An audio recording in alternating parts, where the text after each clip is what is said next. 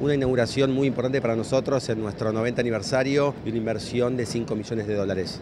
Esta es una empresa que se va a especializar en la producción de libros y novelas, digamos, lo que es libros de un color, después van a ser libros de textos escolares y después hay un proyecto muy importante que sea la principal empresa de la región de impresión de Biblias. Así que el objetivo de esta compañía es ser la principal empresa productora de libros para la región. ¿Con qué personal inicialmente? Y vamos a empezar con 20, 25 personas y pensamos que si consolidamos los negocios vamos a poder estar llegando a los 80, 100 colaboradores. Decidimos Zona Franca Colonia porque tuvimos realmente una recepción muy interesante de la gente que administra la Zona Franca. Nos gustaba la cercanía con el puerto para todo lo que tiene que ver con viajes de clientes. Eh, así que realmente vinimos a este lugar, nos encantó y lo llevamos adelante. La Zona Franca de Colonia inaugurando una eh, editorial eh, una empresa familiar con más de 90 años, empresa Maggio, más de 90 años en Argentina,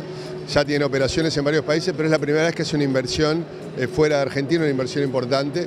Sin duda, eh, una confirmación que la propuesta de valor de Uruguay, que se posiciona como un, hub de negocios a nivel regional, sustentado en su estabilidad política, social y económica, la seguridad jurídica, la ley de promoción de inversiones y la ley de zona franca, donde estamos ubicados ahora, ha hecho que eh, las empresas y las inversiones eh, extranjeras ratifiquen su confianza en el país. Así que sin duda una, muy buena noticia, esto sigue sucediendo en un momento difícil en la región, se sigue mirando Uruguay como un país seguro donde invertir y bueno, y con esa capacidad que tiene Uruguay de ofrecer servicios, en este caso dentro de zona franca, y, de escalar hacia, hacia el resto de la región. La idea de la empresa hoy es eh, esta empresa familiar es instalarse acá en Zona Franca y desde acá brindar, este, exportar al, sobre todo al resto de la región.